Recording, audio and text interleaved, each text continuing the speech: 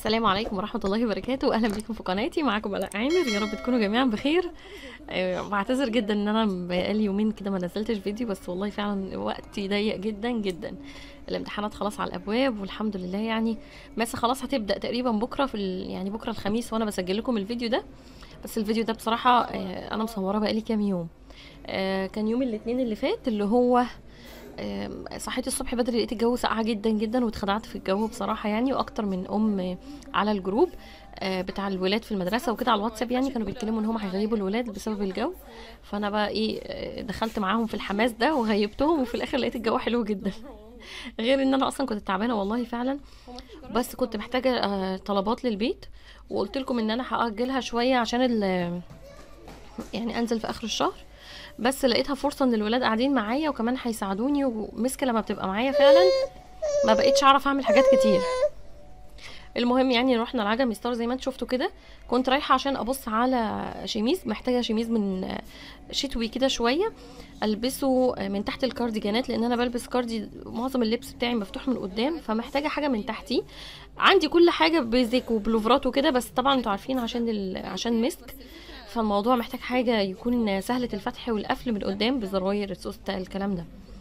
المهم دخلت اشتريت واحدة شميز يعني حلوة قوي وكان شتوي وجميل. وطلعت نزلت قصدي بسرعة على آه، فتح الله في الدور الأرضي. عدينا على المحلات طبعا بس عايزه أقول لكم إحنا بدأنا يومنا متأخر. إحنا صحينا بدري في ميعاد المدرسة عادي خالص. بس بقى على ما الولاد قامت وفطرت و... ومسكي كمان صحت متأخر وشفت طلباتها والكلام ده كله. آه، كان الوقت اتأخر. يعني أنتوا عارفين إن أنا بحب أصحى يعني أنزل على طول. بس المرة دي يعني مش هكدب عليكم أنا نزلت تقريبا قبل صلاة الظهر مباشرة يعني. يعني كانت الساعة 11 ونص حاجة زي كده. المهم أول ما بدخل فتح الله بصوا أول ما بتخشوا فتح الله من باب الدخول يعني بتلقوا دايما إيه جهاز كده بيعمل طحينة. قلت أجربها بصراحة لأن بقالها كتير موجودة وأنا ناس كتيرة جدا جدا بتشكر فيها بصراحة يعني فقلت لأ لازم أجيب منها. أجربها لقيتها تحفة وممتازة ممتازة بصراحة. هو جهاز بيعمل السمسم الصافي طحينة بدون إضافات نهائي لا زيت ولا دقيق ولا الكلام اللي أنتوا بتسمعوه ده. حتى هي صافية عن اللي أنا بعملها. اللي أنا بعملها دايما لازم أحط لها زيت عشان السمسم يتطحن ويبقى عامل زي يبقى زي المعجون كده وناعم ويبقى سلس يعني فاهمين؟ لكن هو طبعا هنا مش بيحط لها زيت خالص ولا أي حاجة ولا أي إضافات. معلش هي مسك معايا بقى فأنا وهي تقريبا بنتخانق مع بعض دلوقتي. المهم جبت جربت 200 جرام. قلت له عايزة 200 جرام أو ربع كيلو حاجة زي كده. يعني ال 100 جرام آه عنده كل حاجة بسعر. يعني ممكن تطلبي 100 جرام 200 جرام زي ما انت عايزة. فالبرطمان يعني على قد ما اتملى اداني منه. وخلصوا بسرعة. في كمان عنده زبدة فول سوداني حلوة جدا وصافية د- دوقهاني بصراحة ممتازة بس هي ما عجبتش الولاد. أنا عن نفسي بحبها بس ما رضيتش أجيب بقى طالما ما حدش هياكلها معايا. المهم رحت جبت بقى شوية الحاجات اللي كانت ناقصاني كنت كاتباها في ورقة بس الحمد لله يعني مثلا تقريبا رميتها قبل ما ننزل. فقلت مش مهم خلاص أنا طالما حطيت في دماغي الحاجات وكتبتها في ورقة فهي اتسجلت. إن شاء الله كده أول ما أدخل فتح الله هفتكر حاجة حاجة. هنا دخلنا قسم الألعاب بتاعة الأطفال عشان كنت عايزة أجيب شخشيخه للمسك. ما بقتش تقعد دلوقتي في الكرسي بتاعها غير حاجة في إيديها يعني يا إما هتزن يا إما تمسك حاجة. وطبعا هي محتاجة موظف مخصوص يديها الشخشيخه كل ما تقع منها. يعني أنا شايفاها محتاجة حد قاعد لها للشخشيخه بس. فالمهم يعني جبتها والولاد هم اللي بيلعبوا بيها حاليا دلوقتي. ودخلت جبت الرز. بصوا بقى بالنسبة للرز أنا ما لقيتش شكاير خمسة كيلو خالص ولا عشرة. كنت ناوية أجيب عشرة ما لقيتش لا ده ولا ده. فكلها كيلوات كده كل كيلو لوحده. رحت عند الحفاضات لقيت أنواع كتيرة جديدة أنا ما أعرفهاش بصراحة ولا عمري سمعتها. يمكن بقى تكون أكيد يعني نزلت الفترة اللي أنا ما كنتش عندي علم بيها بالحفاضات وكده قبل ما أخلف مسك يعني. بس ما جاليش الجرأة إن أنا أغير بصراحة هقول لكم ليه كمان. بصوا هو على فكرة فيه تخفيضات حلوة جدا. على الحفاضات. المهم يعني عايزة أقول لكم إن أنا ما بحبتش في الوقت اللي أنا فيه ده أغير آه، نوع الحفاضة لأن ممكن تعمل لها التهابات.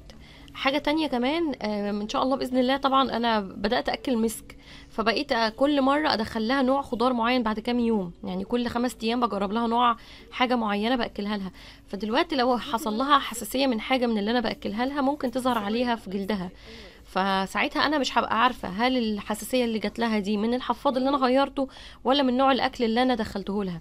فعشان كده وقت دخول الأكل الجديد بلاش تغيروا أنواع الحفاضات عشان على الأقل لو حصل حساسية تبقوا عارفين السبب إيه بالظبط. فما حبيتش أغير بصراحة أنا جبت بس مقاس أكبر عشان التسريب. المهم حاولت هنا أدور على شاور لمسك أو أي حاجة أغسل لها بيها جسمها. كنت كان عندي سانوسان بس خلاص مني. كنت جايباه طبعا أو يعني قبل الولادة على طول. بغسل لها بجسمها وبعد تغيير الحفاضات وكده أنا بغسلها تحت الحنفية مش بستخدم وايبس والكلام ده. لا كل مرة لازم بمية جارية.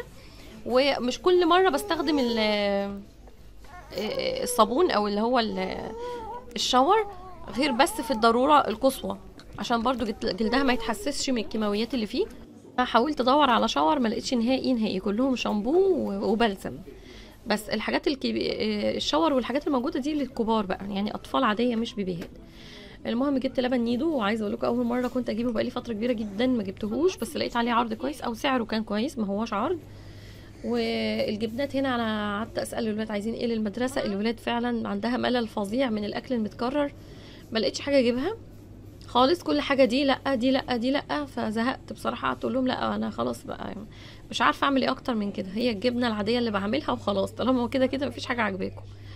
ودورت هنا بصوا على العصير ده مروان بيحبه اللي هو أجا من شركة أجا قديمة كده قديمة قوي قوي مصرية بس حلوة قوي نازل منها عبوات جميلة. عايزة أقول لكم كمان الزبدة هنا أنواعها بقت كتير أيرلندي وهندي ونيوزيلندي. آه بس الأسعار بقى مش قادرة أقول لكم. الهندي يعتبر أسعارها الوسط. يعني 120 جنيه للكيلو. النيوزيلندي بقى ضربت للضعف. هنا بصيت في الخضار والفاكهة كان نفسي ألاقي بتنجان مقور. أي حاجة من الحاجات دي مفيش. بقى صعب عليا جدا أقور بتنجان بس ما لقيتش يعني. بصوا الولاد هنا اتحرت كمان بقول لكم اليوم سبحان الله طلع. الجو حلو فيه جدا يعني ولدرجة إن إحنا فعلا اتحرينا في فتح الله. أنا عايزه أقول لكم بقى ان أنا ما اشتريتش الحاجة وروحت يعني ما اخدتش الحاجة معايا. بقالي مرتين اهو دي تاني مره بقيت أحط الحاجة في في عربيه التسوق وبسيبها في كاشير رقم 15 آه وبسيب بياناتي عشان يوصلوها لي لحد البيت. فبقيت أروح أنا والولاد لوحدنا يعني نشوف طلبات البيت ونشوف ورانا إيه نشوف الغدا الولاد تغير هدومها ونقعد براحتنا كده ناخد نفسنا. وبعد كده بعد كام ساعة ساعتين ثلاثة بالكتير بتلقي الطلبات جات لك البيت. فأنا شايفة إن ده أحسن بكتير. والتوصيل ما بيبقاش أكتر من عشرة جنيه. المهم يعني بصوا اللبن اللامار ده حبيت أوريه لكم إن هو نص لتر فشكله شكله ضحكني جدا والله. كأن الإزازة اتقطعت. المهم هنا إحنا روحنا. آه زي ما قلت لكم بصوا لما الواحد بيروح فاضي أنا اشتريت أنا خدت كام حاجة بس معايا. اشتريت آه برام بايركس. خفت يتكسر بصراحة في النقل فأخدته أنا. خفت يعني الدليفري يكسره أو كده فأخدته أنا وأخدت كام حاجة تخص مسك و... ومروان ومس يعني الحلويات اللي بيطلبوها الكلام ده هو دي بس اللي أنا روحت بيها بإيديا شلت كام شنطة بس صغيرين أحسن ما أشيل الطلبات كلها. أنتوا عارفين بتبقى تقيلة إزاي. كنت جايبة معايا هنا بسكوت آه، اللي هو نواعم. عايزة أقول لكم إن هو ما شاء الله على طول مكسور. المهم يعني أخدته وأخدت كمان باقي باكو من ماسة كان فايض فطرت بيهم كده بسرعة.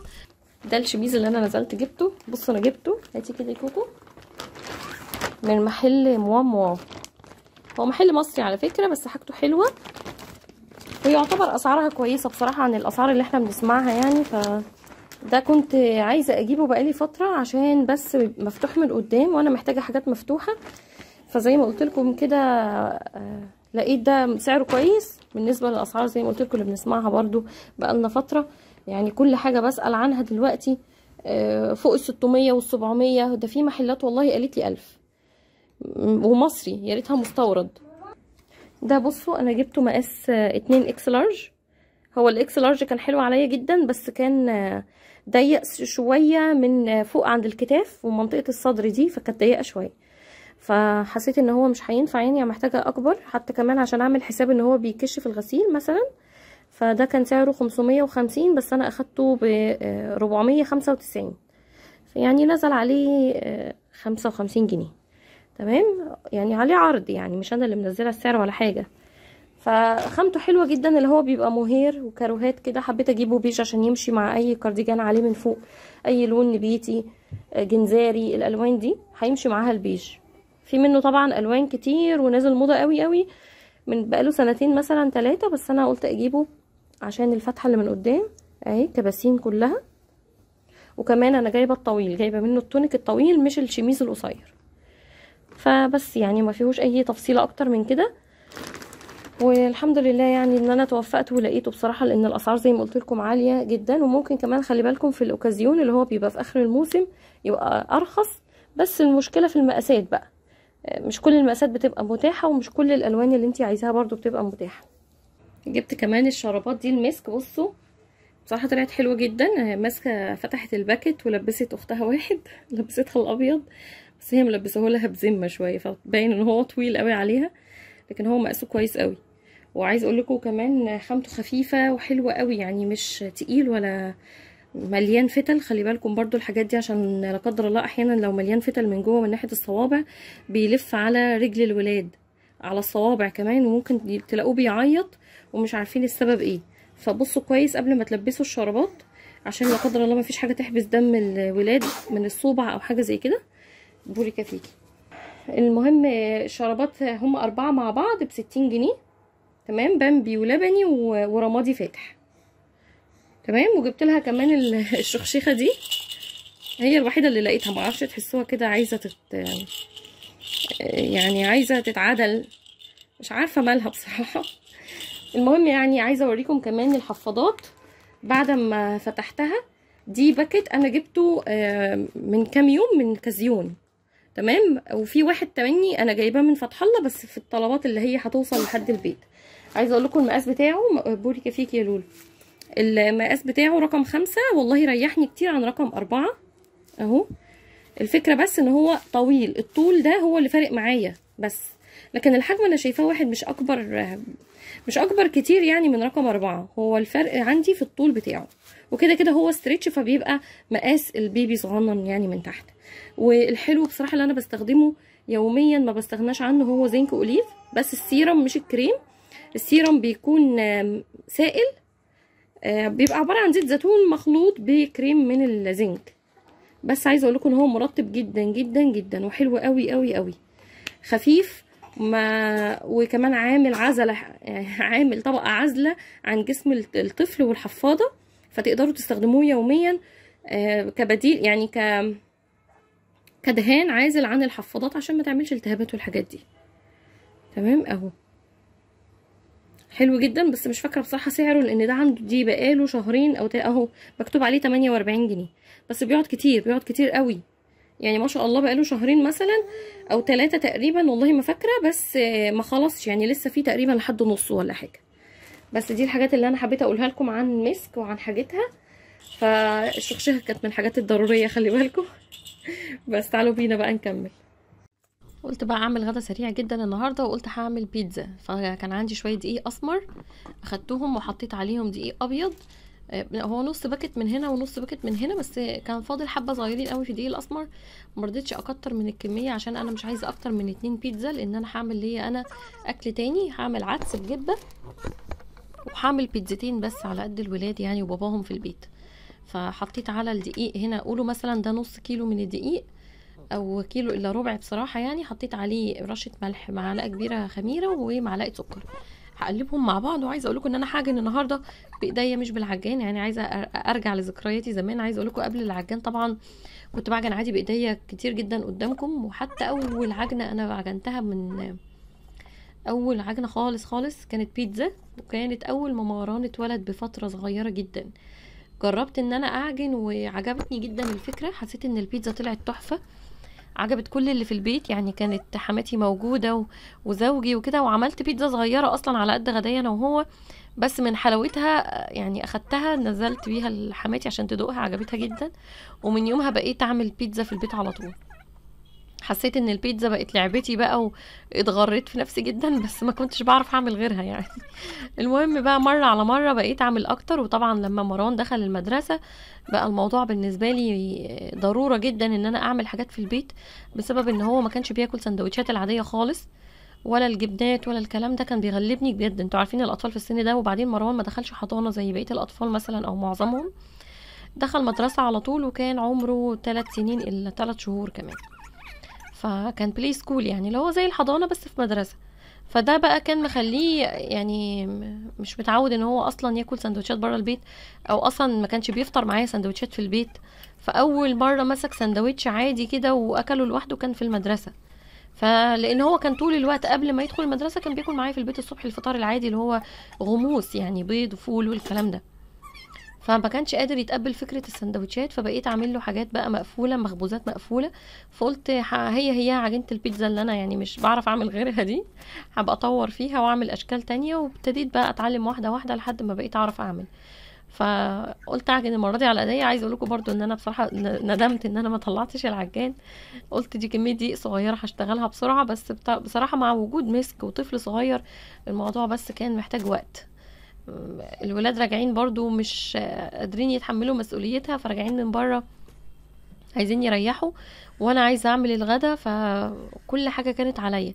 فالحمد لله يعني المهم عجنتها كده ولميتها كلها. طبعا الرخامة كانت نظيفة وممكن تعجنوا على مفرش السيليكون بس أنا برضو كسلت أطلعه عشان ما أضحكش عليكم يعني. والطبق ده قلت بقى هدهنه زيت كده ودخلت فيه العجين وخلاص. أنا عجنت البيتزا بمية على لبن لأن أنا حاطة في العجين أو في الدقيق نفسه لبن بودرة. فيا دوب اتلمت معايا كده وحسيت إن قوامها بقى حلو ورايح جاي معايا كده. خلاص يعني شلتها بقى تتخمر. أنا مش هخمرها كتير لأن أنا فعلا كنت مستعجلة وزي ما قلت لكم بما إني نزلت أصلا متأخر فرجعت متأخر. فكان ورايا وقت قليل قوي أعمل فيه الغدا لأن الولاد نفسهم بيبقوا جعانين. ولما بيجوعوا فتح الله بقى بصوا ما تقدريش تمسكيهم عن أي حاجة بتعجبهم. بس أنا ببقى يعني قايلة لهم عايزين إيه من هناك؟ كل واحد قطعتين ثلاثة بالكتير قوي من الحلويات وخلاص. الدنيا غلت وكل حاجة بس إحنا ما نقدرش نحرم ولادنا ولا نقول لهم ده ممنوع ولا ما فيش خالص.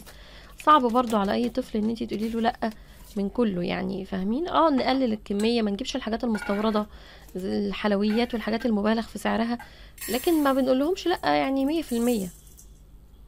المهم حطيت العجينة تخمر وقلت لكم هعمل عدس. طلعت آخر كمية عدس بجبة عندي ونقيتهم كده من الحاجات اللي فيها وقلت هعمل طبق عدس بقى بالصلصة. أنا بحب قوي الأكلة دي وبحب أكلها في الشتاء جدا. هي والمسقعة بصراحة ما بعرفش أكلهم في الصيف قوي يعني. بحبهم أكتر في الشتاء. فالعدس على فكرة من الحاجات كمان اللي بتدفي وبتدي طاقة كبيرة جدا. وفي نفس الوقت هو من البقوليات اللي بتدي بروتين عالي قوي للجسم.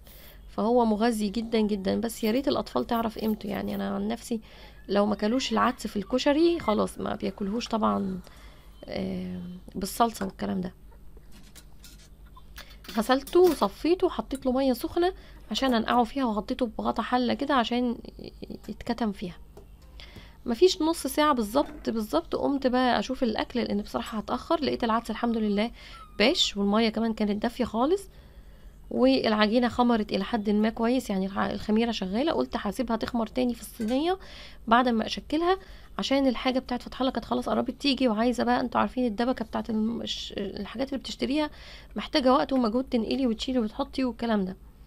فقلت بقى بسرعة كده آه، أنا أصلا كنت بصراحة يعني مستنية الجبنة الجبنة الموتزاريلا تجيلي مع الطلبات عشان أعمل البيتزا.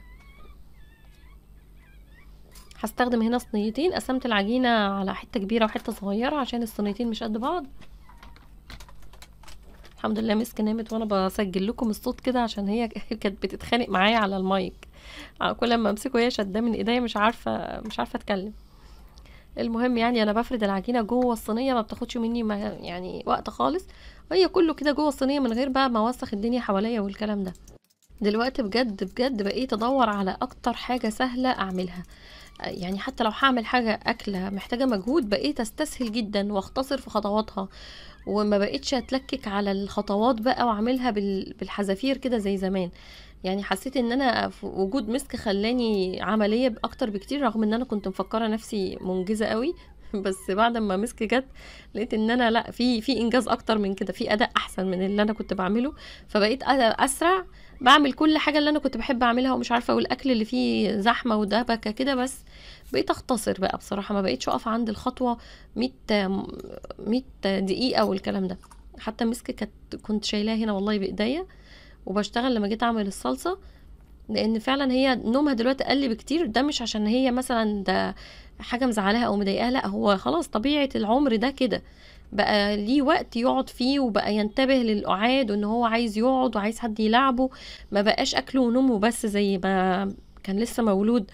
لأ كان دلوقتي لها طلباتها بقى اللي عايزة حد يقعد معاها ويديها من وقته ويلعب معاها شوية فاهمين إزاي؟ ف الموضوع فعلا دلوقتي بقى مختلف تماما يعني. الحمد لله طبعا ربنا يبارك فيها وفي أولادكم جميعا ويرزق كل مشتاق يا رب. المهم أنا هنا عملت الصلصة كده سريعة جدا. عمري طبعا في الأول ما كنت بعمل الصلصه كده. بس الحمد لله يعني. حطيت عليها ملح وفلفل وشوية زعتر وزيت زيتون. هدهنها بالفرشة بالشكل ده وخلاص. يعني الموضوع مش محتاج مجهود والحمد لله الولاد أساسا قالوا لي مش عايزين حشو كتير على البيتزا عندك جبنة حطي غير كده ما مش عايزين. طب فلفل طب زيتون طب بسطرمة حتى لا مفيش مش عايزين حاجة نهائي. مروان قال لي ممكن تحطي بسطرمة لو مش عايزة خلاص. قلت لا وأنا مش عايزة فعلا. فحطيت صلصة وحطيت هستنى الجبنة وهستنى البيتزا تخمر كمان. هنا بقى قلت أعمل صلصة العدس. حطيت زيت على النار وهحط عليه شوية توم مفروم. التوم ده على فكرة مش التوم اللي هو الأبيض ده العروش بتاعته. فاكرين لما كنا بنفرز التوم في الموسم بتاعه كده في شهر ثلاثة تقريبا؟ بحب أجيب التوم الطري بيبقى لسه طري طبعا من كله حتى الساق بتاعه باخد منها الطري وبفرمه مش برميه. فبيطلع معايا كمية حلوة قوي بقدر أستخدمها في أي حاجة. حطيت كمان شوية فلفل حامي كنت مخزناهم في الفريزر عشان ماليش إقبال عليه فبخاف يبوظ. آه حطيت منه شوية وحطيت كمان خل أطش بيه التومة وبعد كده صلصة كنت مخففاها بمية من البرطمان بتاعها وبعد كده أول ما غلت مني حطيت عليها آه العدس. هسيبها تغلي تاني وبعد كده أحط لها ملح وفلفل وبس كده. خلاص الأكلة بقت جاهزة. بس عايزة أقول لكم حلوة جدا. بتديكي بقى شوية طاقة كده وبتدفيكي دفى مش ممكن بقى. البيتزا هنا كانت خمرت. أنا كنت عملت العدس بس أنا ما بحب شكله سخن برضو هو والمسقعة زي ما قلت لكم قبل كده على المسقعة بس العدس فعلا برضو بحب أكله. يا دافي يا ساقع لكن سخن قوي وهو حامي كمان لا بيبقى صعب قوي. المهم هنا فتحت كيس الجبنة وبقيت أرش على البيتزا فهعمل البيتزا بالجبنة بس زي ما قلت لكم. الموضوع يعني مش بحب أخليه يكلفني كتير لأن زي ما قلت لكم قبل كده الخضار بقى غالي. فلو الولاد هتقعد تنقي فيه وتطلع لك ده على جنب وده على جنب بلاها منه أحسن. عشان فعلا الحاجة دلوقتي ما يعني ما بقتش بالرخص زي الأول بقى والحاجات بقت بوفرة والكلام ده. لأ يعني الواحد بيحاول يحافظ على النعمة على قد ما يقدر. وبصراحة أكتر الولاد لما بتقعد تنقنق في الحاجة وتطلعها على جنب أنا ما بعرفش أكلها. ما بعرفش أكل اللي طلعوه ده. بس حطيت الجبنة وكملتها بجبنة مثلثات على فكرة. يعني قطعت كده كام قطعة مثلثات وخلاص. وهنا العدس بقى غرفته وهسيبه يبرد وهو سخن كده. لحد ما البيتزا تستوى وهنبدأ ناكل إن شاء الله. يعني طبعا الغدا كان متأخر جدا النهارده بس الحمد لله يعني. بالنسبة للطلبات بقى اللي جات لي وكده آه الحمد لله الحمد لله الحاجة جات لي زي ما هي زي ما طلبتها. واحيانا في حاجات بتبقى مجمدات زي جبنة الموتزاريلا زي الزبدة مثلا. الحاجات اللي بتتشال في الفريزر هم بيشيلوها لحد ما ال order يجي يطلع. وبيطلعوها في ساعتها على طول ساعة الدليفري بيطلعوها من الفريزر على الدليفري على طول. فالموضوع ده أحيانا بيحصل فيه أخطاء على فكرة بس بصراحة محترمين جدا جدا في فتح الله إن هم بيتأسفوا. يعني بصوا أنا بزهق من الأسف. بقول لهم إيه كل الأسف ده؟ خلاص الموضوع بسيط والله عادي. يقولوا لي طب ما تزعليش هنجيبها لك كمان شوية حالا و... بقول لهم خلاص ما يعني عادي أنا اتعاملت معاكم كتير الموضوع مش محتاج الأسف ده. فعلا محترمين جدا في تعاملهم والله. المهم يعني جبت الحاجة اللي هقدر أشيلها يعني في حاجات شلتها في الفريزر على طول أول ما جات لي وفي حاجات بقى طبعا هشيلها في الدواليب على طول. مش كل الخزين اللي أنا جبته بفضيه في علبه لأن أصلا بجيب دلوقتي كمية أكبر زيادة من كل حاجة. المكرونة الدقيق السكر الرز بوريكم العلبة دي معرفش ليه حالة نفسية عندي لازم أشيل الإيد اللي فيها وأحتفظ بيها. والله ما أعرف إيه السبب. بس أنا هقول لكم على حاجة لأ أنا عارفة السبب استغفر الله العظيم يعني. شفته في في حاجة من الكرافت اللي بتتعمل يدويا إن هم استخدموا الإيد بتاعت علبة الزيت دي في حاجات وعملت بيها قبل كده بس قلت بما إنها بتنفع فهحتفظ بيها. فمش قادره أقول لكم بقى كمية إيدين الزيت اللي عندي وشايلها على جنب. المهم يعني شلت الحاجات الصغيرة دي في علبة ال baking powder والحاجات دي والرز البسمتي جبت منه نص كيلو لأن أنا عندي نص من الأول فقلت أكمل عليه. هو الرز البسمتي مش عندي من الضروريات قوي بصراحة بس بيبقى زي تنوع في الأكل لأن كل يوم نفس الأكل أو رز ومكرونة يا إما رز يا مكرونة يا إما رز حاجة بتزهق الولاد قوي. فبقيت أجيب رز بسمتي كل فين وفين ممكن أعمله مرة في الأسبوع ولا حاجة وخلاص. والرز بقى كانت آخر كمية رز عندي. هو اللي العلبة اللي أنتوا شفتوها دي. فالبواكي دي مش هفتحها بصراحة دلوقتي أنا هحطها كده بس زي ما هي عشان ما تاخدش مني حيز في الدولاب. ولما أجي اخلص الكمية ابقى افضي دول بقى في العلبة على طول. يا ريت اللي يعرف شكاير الرز ال 25 كيلو انواع كويسة يقول لي ماما دايما مرشحة لي نوع اسمه الأمل. آه فقولوا لي بالله عليكم يعني اللي يعرف نوع رز شكارة 25 كيلو يقول لي بس أهم حاجة أحتفظ بيها إزاي؟ أنا كمان خايفة من حتة مسك إن شاء الله بإذن الله يعني كلها شهر ولا شهرين ولا ثلاثة حتى تبدأ تتعلم السحف. آه، الزحف ده ممكن يخليها بص هتشد أي حاجة قصادها فأنا خايفة قوي على شكارة الرز. فقولوا لي برضو أشيلها فين؟ أنا مش عارفة أشيلها فين لو جبتها. فمش عارفة خايفة ده ممكن يخليني ما أجيبهاش أصلا فعلا. لو ما لقيت لهاش مكان يعني. جبت نشا سايب من عند قسم العطارة حطيته في علبة. والطحينة اللي قلت لكم عليها اهي عايزة اجربها حطها قدامي عشان ما انساش. الأول كنت بفكر أنا وحد من صحابي إن إحنا نجيب شكاره واحدة اللي هي 25 كيلو ونقسمها مع بعض. بس لما رجعنا فكرنا قلنا طب ما هو كده كده كل واحدة فينا محتاجة الشكاره دي لوحدها يعني ليه نقسمها لما ممكن كل واحدة تاخدها تشتري واحدة لوحدها. بس المشكلة زي ما قلت لكم كده في طريقة التخزين وفي المكان. أنا لا أفقه شيء بصراحة في تخزين الرز. وماما بتقولي حطي عليه كيس ملح أو كيسين ملح بس أنا خايفة برضو مش عارفة ليه يعني لأن أنا لو هشيله هشيله في مكان آه صعب الوصول ليه وهو بيتهيألي عايز تهوية. فده اللي مقلقني جدا جدا إن أنا أجيبه وأخسر لا قدر الله كمية كبيرة بسعر كبير على عشان طريقة التخزين بتاعته أنا مش هعرف أحققها يعني. فلو حد مجرب مثلا الرز وقايل يقول لي مثلا برضو طريقة تخزينه بتشيلوه فين بالظبط؟ يعني مثلا هل في المطبخ؟ ولا مثلا جنب البلكونة جنب شباك؟ ولا فين؟ أنا مش عارفة. المهم يعني ده كمية دي عايزة أقول لكم إن أنا يعني عملت الحاجات دي بعد ما خلصت تصوير الفيديو بتاع المشتريات لأن أنا فعلا كنت محتاجة أريح كده شوية. يوم المشتريات ده بصراحة بيبقى متعب بالنسبة لي. ما أقدرش أعمل فيه أكل كبير غير لو كنت مجهزة له من قبلها. لكن أروح أعمل أكل من الألف للياء أو أكلة صعبة مثلا لا صعبة قوي. فضيت هنا المكرونة. المكرونة المصرية دي على فكرة جربتها شهر اللي فات طلعت حلوة. حلوة قوي بجد. وإن شاء الله بإذن الله هنزل لكم فيديو المشتريات بحيث إن هو تشوفوا بدايل كتيرة صورتها. بإذن الله تستفيدوا منها يعني من ناحية السعر ومن ناحية العروض. بس هو في المكرونات والرز وكده ما كانش فيه عروض بصراحة. لا على الرز ولا المكرونة ولا الدقيق. أسعارهم نازلة ثابتة والسكر كمان. غير كده في عروض بقى على الحاجات اللي هي تعتبر مش أساسية. عليها عروض كتير. أو كل الحلويات عليها عروض كتير. بس يعني دلوقتي الناس اتجاهاتها دلوقتي للأساسيات أكتر. خلصت الحمد لله شلت كل حاجة حتى الأكياس شلتها. ناديت مروان بقى يطلع لي فوق الرخامة وأنا قعدت أناول فيه الحاجة لأن الرخامة بعيدة الدولاب قصدي بعيد. وكسلت أدخل بقى الكرسي بتاع المطبخ وأقعد أنقل وأحط وأطلع وأنزل. فناديت مروان هو بيحب يطلع فوق الرخامة قوي بص بقى ده كانت آخر كمية عسل. نسيت أجيب عسل برضو بس مش مشكلة بقى. هلاقيه متوافر اليومين دول كتير. عشان الناس اللي بتعمل حلبة معقودة وكده فمنتشر يعني. هحط عليه بقى شوية طحينة. هو أنسب حاجة تجربي فيها الطحينة أو على عسل إنك تاكليهم كده خام من غير من غير وصفات يعني. عسل على طحينة. بس طلعت حلوة جدا جدا الطحينة هناك بجد. عجبتني وبإذن الله هبقى أجيب كل مرة كمية أكبر من كده بحيث إنها توفر لي الشهر كله. وماسة بصراحة فضلت تزن عليا طول ما أنا واقفة اعملي لي سمبوسة اعملي لي سمبوسة. أنا كنت جايبة كيس سمبوسة فعلا وكنت شايلاه في الفريزر ونسيت أطلعه ساعة ساعة تصوير فيديو المشتريات لأن أنا كنت شايلاه في الفريزر وما كنتش لاقياه.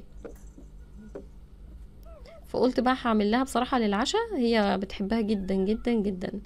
حتى بتلاقي صاحبتها واحدة صاحبتها بقى متميزة جدا تقريبا بتجيبها يوميا. فدي بقى مسببالي أزمة. كل يوم تيجي تقولي عايزة سمبوسة زي مس... زي ملك. عايزة سمبوسة زي ملك أقول لها حاضر. لما أجيب سمبوسة طب لما أعملها؟ طب فعمالة أجل فيها لقيت فجبتها لها النهارده عشان ما تزعلش وقلت أعملها لها في العشاء زي ما هي طلبت. حطيت لها جبنة مثلثات أو الجبنه اللي هي بقطع الفلفل دي برضو كانت حلوة. يا إما تلفيها في مكانها بالشكل ده يا إما تعمليها ظرف زي ما هوريلكم دلوقتي كده. فهي تشكيلها سهل جدا على فكرة. بس أنا ما قالتهاش بصراحة أنا قلت لها هحطها لك في القلايه الهوائية وطلعتها لها وكل حاجة بس لما عملتها قالت لي لأ أنا عايزاها مقلية في الزيت مش عايزاها في القلايه لأن صاحبتي ملك بتجيبها مقلية. قلت لها طب يعني هي صاحبتك بتجيبها مقلية مش معناها إن إحنا كمان نقليها فالحاجات دي بتشرب دهون كتير جدا. قالت لي لأ ماليش دعوة أنا بحبها مقلية مش عارفة والله أعمل معاها إيه. رغم إن هي كانت مقرمشة جدا لما طلعت من القلايه أنا ما أكلتش منها بصراحة يعني عشان أقول لكم أنا ما بحبهاش قوي يعني.